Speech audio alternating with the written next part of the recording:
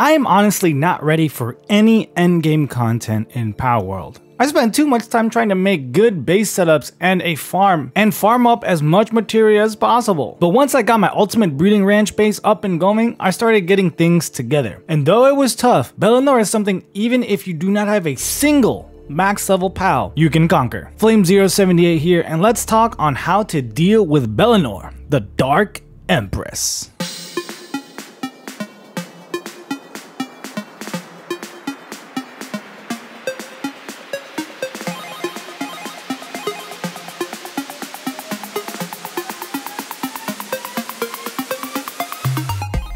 So let us quickly run through the needed information to pre pre-prepare for battling Bellanoir for the first time. Understand that she is someone you can summon at your base with the statue you unlock at level 33. You collect the slabs needed by clearing out dungeons around the map and there are two versions of her, a level 30 Bellanoir and a level 50 Bellanoir Libero. Sadly, Xbox players are currently dealing with the game crashing anytime you try to enter a dungeon, so that is still something that needs to be fixed. However, I can get through them by being patient. I usually crash, then get in, then crash again, then try one more time. I usually found that if you run straight to the boss once you get in, you'll be able to clear the dungeon and move on. However, there's a workaround for the level 30 Bellanoir. At Sanctuary 3, you can search the chest and have a chance of finding the fragments. I did this to get basically two slabs of level 30 Bellanoir. So now what do you do at your base to get ready?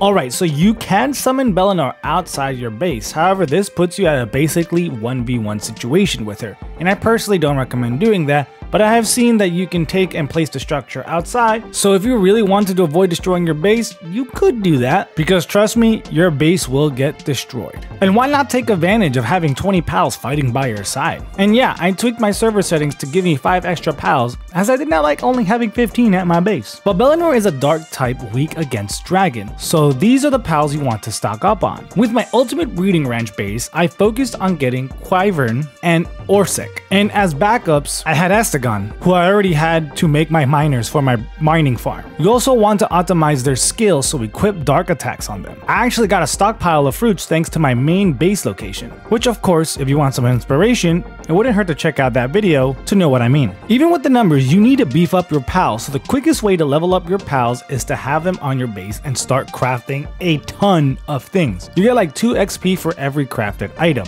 So crafting Paldium from stone or charcoal from wood is literally the way to go. A couple of batches of max production and you can bring a level 1 pal to pretty close to level 30 fairly quickly. But now you are almost ready. Now you gotta prep your base. I fought Bellanoir twice. I lost the first time due to a timeout, but that's because of how I did my prep the first time around. I was worried about my pal box, so I tried protecting it from the battle, but the thing is, I just left my pals having terrible pathing and made things difficult. A second mistake I did was not keeping my rifle ammo and being passive during the fight. I planted machine gun turrets thinking it would help, but honestly they didn't. So if I would have fought her without making these two mistakes, I think I would have beaten her the first time. So my takeaways are keep the base pretty open and move your valuables away and make sure to have ammo so you can fight too. But keep in mind things are still going to end up pretty messy.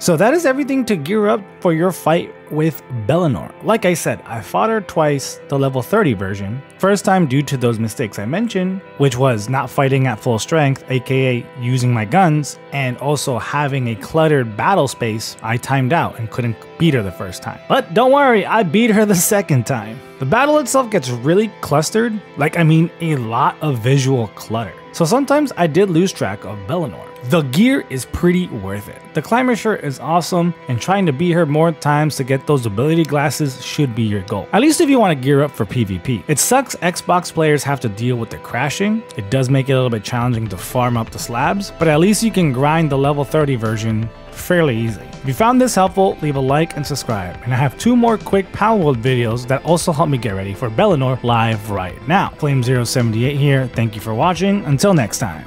Adios!